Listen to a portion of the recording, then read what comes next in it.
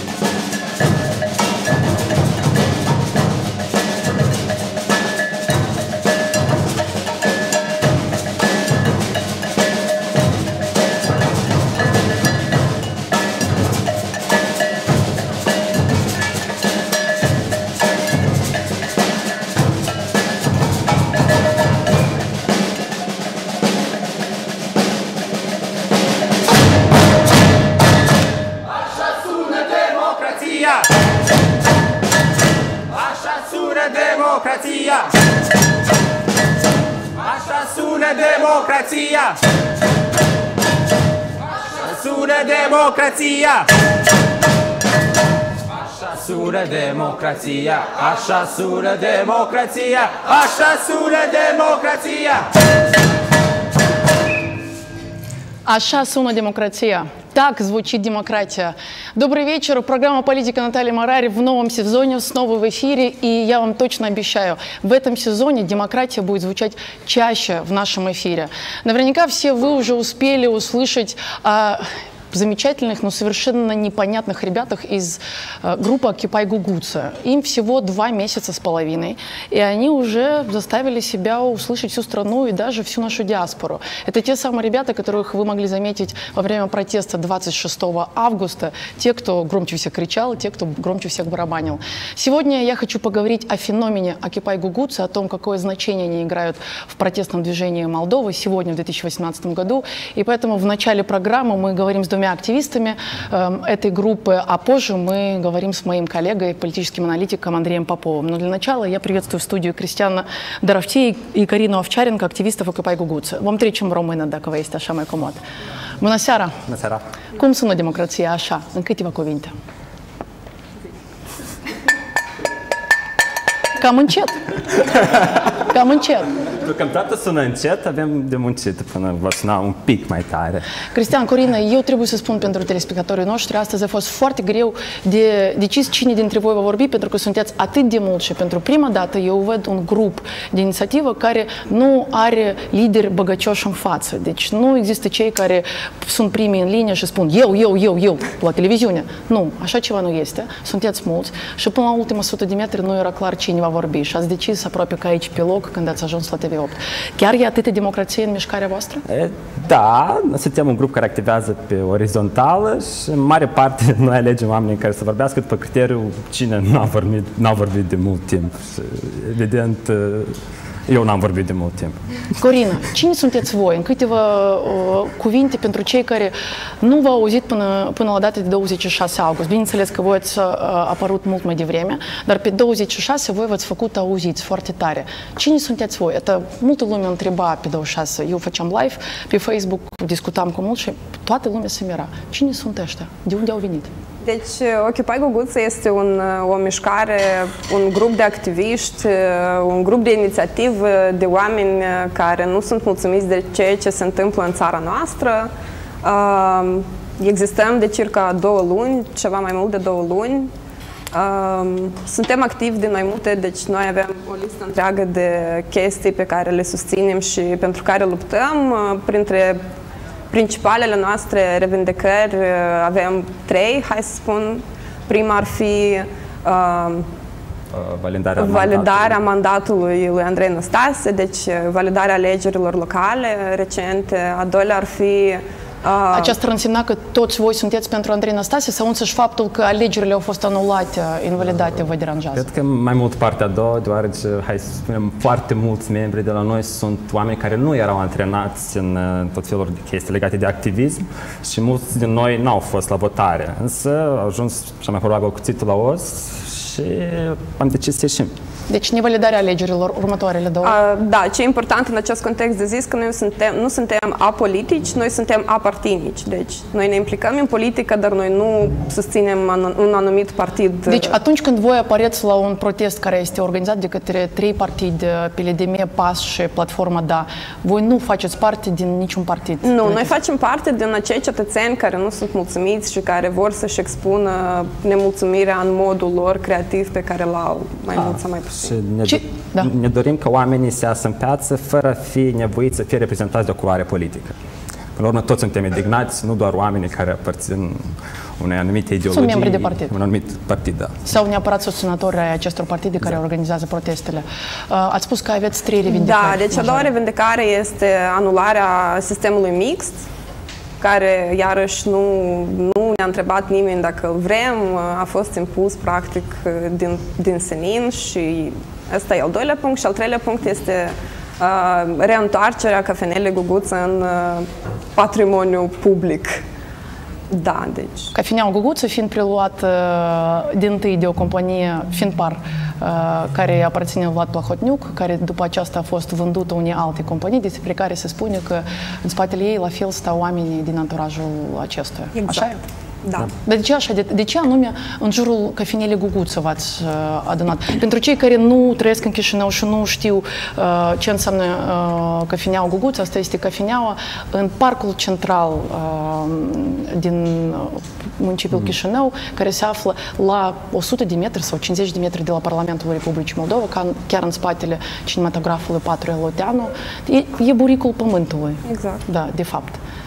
De ce, ca să înțeleg, de ce vă deranjează construcția unui hotel uh, frumos în centrul capitalei? Relativ. Mai mulți turiști, mai mulți investitori? Uh, eu cred că Căpineau Guțe este mai degrabă un simbol, cum a spus Corina, faptului că unii politicieni își permit să privatizeze în mod ilicit uh, bunul nostru public, pentru că eu și încă vreo 2-3 uh, membri ai Pai Guguță am participat și la protestul uh, împotriva uh, demolării cinematografului Gaudiamus, care a fost probabil mai puțin mediatizat. Uh, și cred că e cam același caz, adică uh, suntem uh, deposedați de un bun care ne aparține și în loc să fie locuit cu ceva mai nou, să fie renovat, se construiesc tot felul de hotele sau blocuri locative care, până la urmă, sunt uh, doar în uh, uh, reprezintă doar interesele agenților economici care... Da, și nu în ultimul rând trebuie de spus că sistemul judecătoresc joacă în acest proces un rol extrem de important. Dar revenim la Occupy Guguțu, la inițiativa voastră. Uh, ați spus că niciun partid nu stă în spatele vostru, dar totuși cine stă în spatele vostru, vă întreb eu, pentru că lumea se întreabă de unde luați bani, pentru, de unde luați bani pentru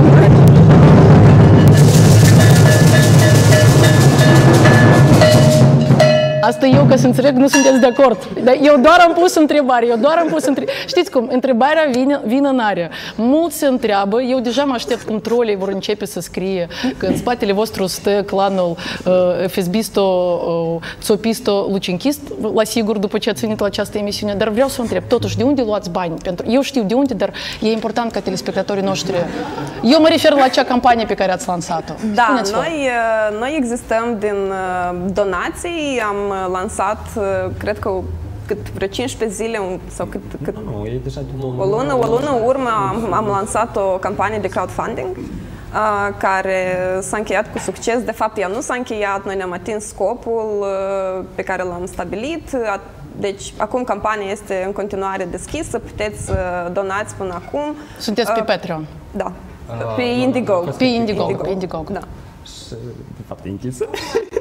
Nu, bun, dar tu poți în continuare. Nu, nu, nu, nu, nu. Ok. Uh, Dar noi organizăm tot felul de evenimente care sunt făcute publice pe Facebook și oamenii vin și donează Da, deci foarte multe din instrumentele pe care le-ați auzit astăzi și în piață sunt practic donate de către oameni care zic, băi, eu am o tobă sau eu aș putea să aduc un fluier sau până la urmă urmei o căldare. A, știți, a, eu țin minte cum de la bun început a, voi nu erați luați în serios. Eu, vineau mai mulți oameni în emisiunea mea, noi eram în emisie când voi ați apărut și cumva despre voi se vorbea, da, acolo se adună niște hipsteri, e clar tot cu ei. Și iată că în două luni și jumătate despre voi se vorbește mai mult decât despre mulți alții. Uh, inclusiv cei care vă criticau aici în platou. Uh, vreau să vă întreb, uh, voi aveți vreun scop anume? Deci când voi veți uh, înțelege că v-ați atins s- scopul principal și puteți să mergeți acasă să vă ocupați de treburile voastre cotidiene? Uh, Noi mereu iubim să răspundem la întrebarea asta că noi vrem să protestăm permanent, dar evident mulți din noi eh, vor părăsi această mișcare, însă nevoia unei mișcări ca Ocupai Găguță va fi nevoie eh, mereu, permanent, deoarece noi mm, vrem să ne asumăm rolul de mediator al ceea ce înseamnă peisajul politic la noi în țară. Adică noi nu vrem doar să ne adaptăm peisajul politic, noi vrem și chiar și să-l transformăm. Dar cu ce voi vă ocupați atât în viața de zi cu zi? Pentru că uh, cei care spuneau că sunteți niște hipsteri care nu se ocupă cu nimic, eu țin minte la postul public de televiziune, în reportajul despre protestele din data de 26, în unul dintre, din sincro- uh, în, în unul din sincroane se se vorbea despre faptul că a, acolo au ieșit niște drogați, deci înțelegeți care este atitudinea față de voi. Eu vreau să vă întreb acum pe fiecare dintre voi, dacă e posibil, uh, uh, așa mai tare să vorbiți ca să se audă, ce, ce, cu ce vă ocupați în viața de zi cu zi? Iată, hai să începem cu voi doi și pe urmă trecem la alții. Ah, Corina, Eu sunt manager într-o companie internațională. Cristian, Uh, Jurnalist și videoeditor. mai departe, Eu sunt arhitectă, arhitectă, marketer, marketer. Cine e eu? Nu? designer, Designer, administrator, Specialist în energetică. energetică. Wow, oa- oa- oameni, oameni, oameni, din, oameni uh, din mai multe domenii. Eu cer scuze față de telespectatorii noștri dacă nu se aude bine. Noi, din păcate, avem foarte puține microfoane. Anume, din acest motiv am lansat și noi o campanie de crowdfunding. Sper că în scurt timp vom avea posibilitatea să cumpărăm mai multe. Pentru că, zic eu, în acest sezon trebuie să sune democrație mai des uh, din acest platou.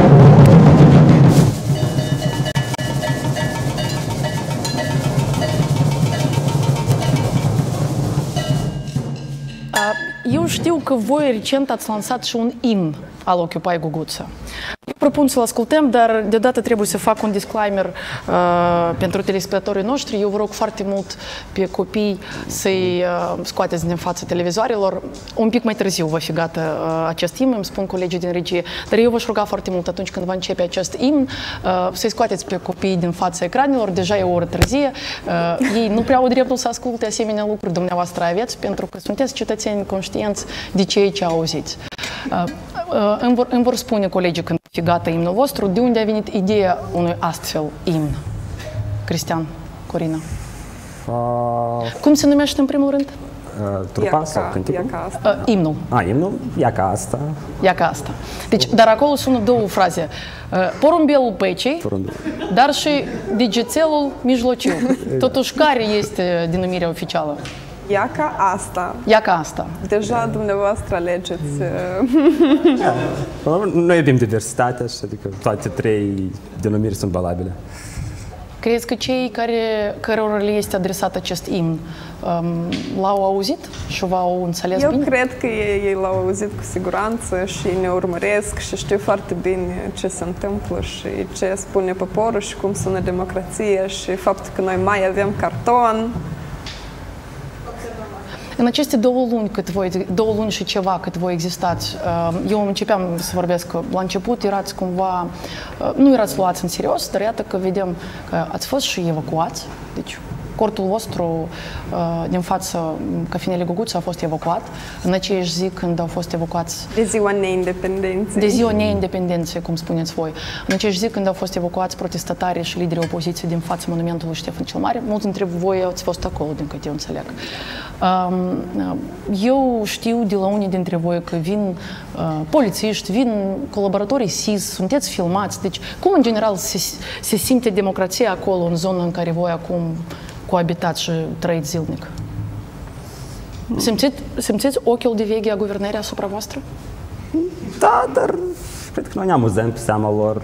Deseori fotografiem și noi, zâmbim. Dar concret, deci oamenii vin și vă, vă fotografiază, da? Nu oamenii, dar concret polițiștii, uneori în formă, uneori în civil, ne fotografează, ne filmează.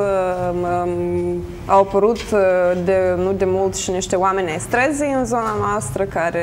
Chiar și un, un, boschetari au venit la Da, la voi. deci au venit, au fost aduși, chestiile astea nici măcar nu se ascund, se fac foarte pe față. Ei au apărut împreună cu camera publică TV, corect? Da.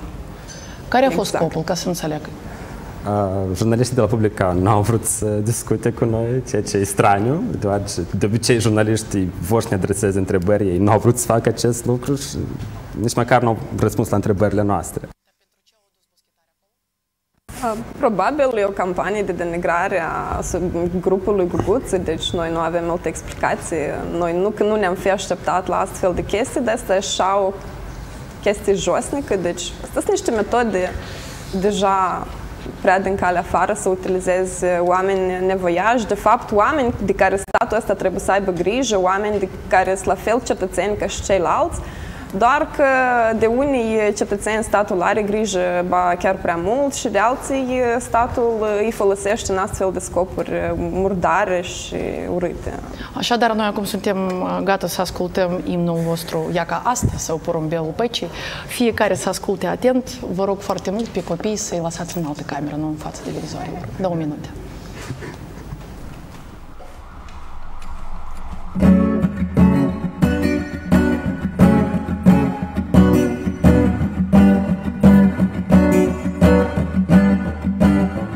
Növenit kuvvat mixt Shilo bëgat pëgët Jeva tun sham skos kartonu Shi am skris kmam za i bit Shi au pusu pe bërdila Sem zikë kënu kontes Jeva më në pasha por shtampili Da pivoju nu vam males Po atë së vine Sa nu leze Nu manaj kum anula.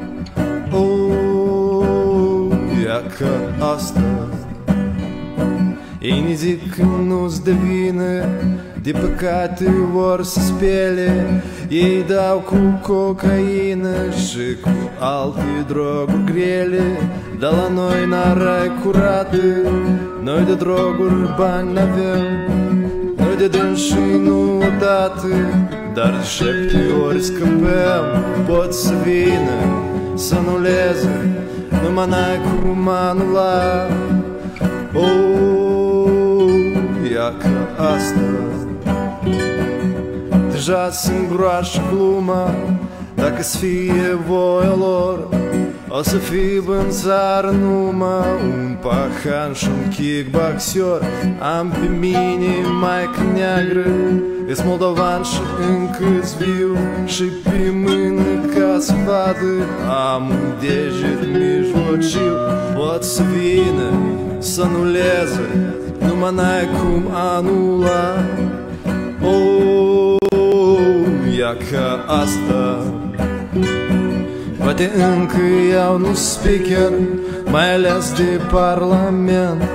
Dar știu să mănuiesc Facebook-ul Și protestul permanent. Pot să vină, să anuleze Numai n-ai cum anula.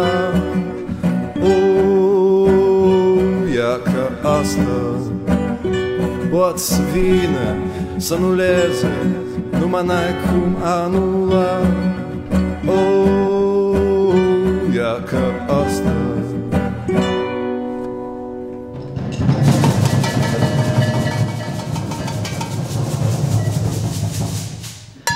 Haideți să le spunem telespectatorilor noștri că această primă parte a emisiunii este de fapt un teaser la o emisiune pe care o vom face la voi uh, Acasă. De acasă, da, de la Ocupai cu Guțu, pentru că eu de mult vroiam, eu de mult vroiam să fac acest lucru. Eu cred că oamenii merită să afle cum voi trăiți, cum voi vă petreceți seriile, ce organizați în afară de proteste și protestul vostru permanent și cum în general arată acest protest permanent, pentru că voi aveți activități acolo zilnic, în afară de zilele protestelor mari.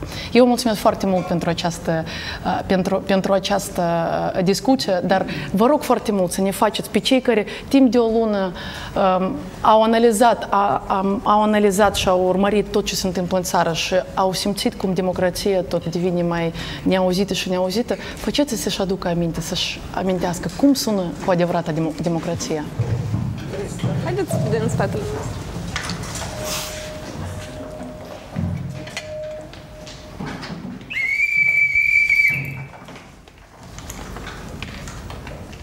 Puteți să vă apropiați mai aproape.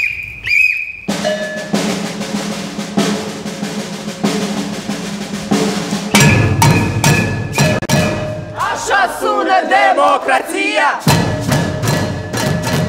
Așa sună democrația! Așa sună democrația! Așa sună democrația! Așa sună democrația! Așa sună democrația! Așa sună democrația!